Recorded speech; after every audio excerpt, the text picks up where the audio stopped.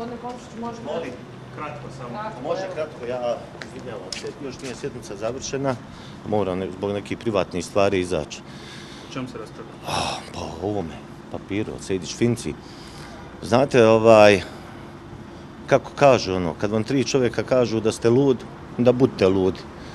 Uh, ja sam ovaj put izabrao da budem lud. I dalje. Dakle, ovaj, ja, kako god da završi rasprava na predsjedništvu SDP-a, ja se nadam i želim da ovo jednostavno ne bude rješenje za buduće ustavne promjene u Bosni i Hercegovini. Jer cijela jedna grupa ljudi koji će biti sigurno sve više i više, ljudi koji se osjećaju prije svega bosancima i hercegovcima, bi po ovom papiru bila jednostavno van sistema, van ustava, odnosno bila bi uskraćena u svojim pravima.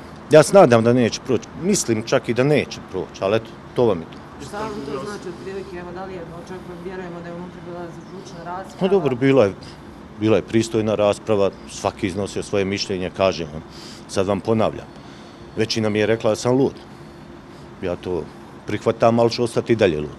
Jeste bili toliko. osamljeni u svojim mišljenju? Nisam, ali to druge pitanje. Pa meni žao da je on otišao, voljela bi da je ostao do kraja i to je to. Sad ćete odmah dobiti te zaključke i to je to.